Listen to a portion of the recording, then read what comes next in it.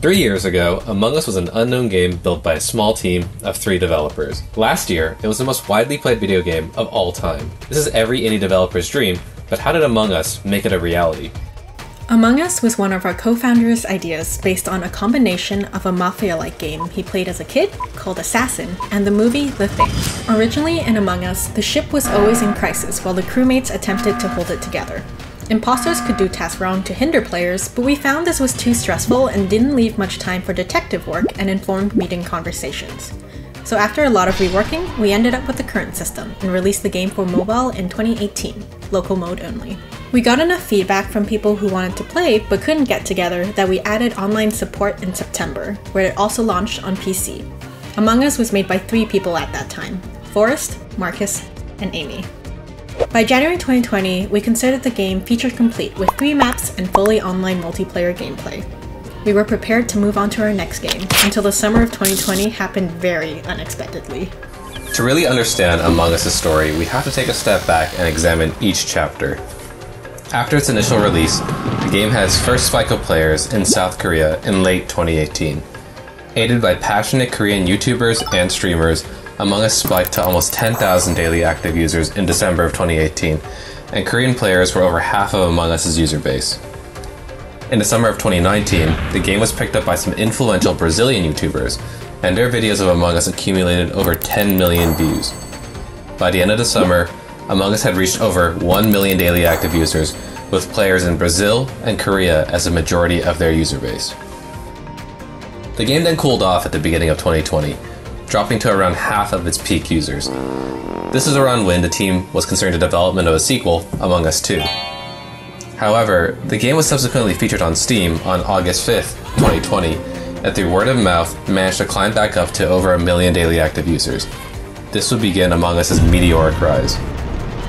In just nine days, Among Us' player base would more than double, and a few weeks later, Among Us' daily active users would break eight digits.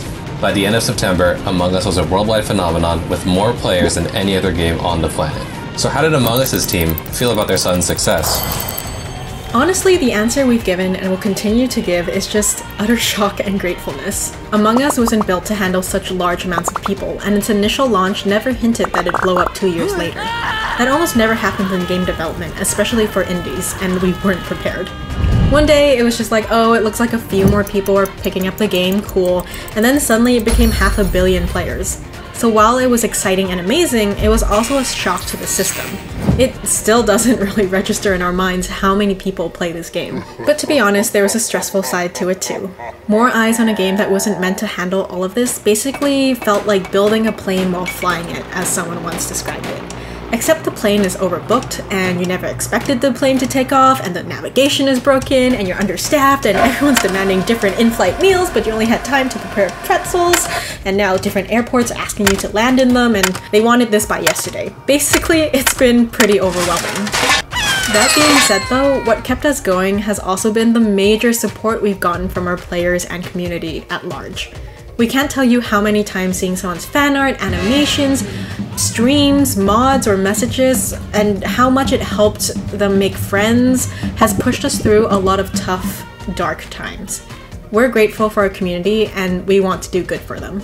So, as you can see, with sudden success also came sudden problems. Among Us' servers were having trouble keeping up with the massive amount of new players. There are frequent issues with players being unable to join lobbies or getting disconnected entirely from games. In came Unity. The multiplayer team worked closely with Innersloth to deploy and stabilize their online multiplayer, even while millions of players around the world were creating billions of lobbies. The Among Us team also ran into ad quality issues. Mobile versions of the game would show brief advertisements to help pay for server and development costs, but it was hard to fully control what was being shown to their players. Unity Ads was able to step in and improve user experience while giving the team more granular insight of what ads were shown in the game. So the multiplay and operate solutions teams at Unity have honestly been fantastic partners to work with. They understand games, they're really easy to talk to, and more importantly, they've always put our small dev team's needs above all else. We've had a whole bunch of support in various areas, even outside of what you'd normally expect from a company like Unity. When we were first introduced to the team, they helped us solve our most pressing problems and stabilize Among Us during what was a really intense time period. But they've also done things like introduced us to our back-end partner that we've really enjoyed working with and which has gone really well. Longer term, they've helped us work through multiple issues around running and operating a huge live game. Unity have continued to provide us with insights around the game and helped us build out a future for Among Us. The people we work with are personable, smart, and no drama. I would definitely continue working with them and choose them for future projects.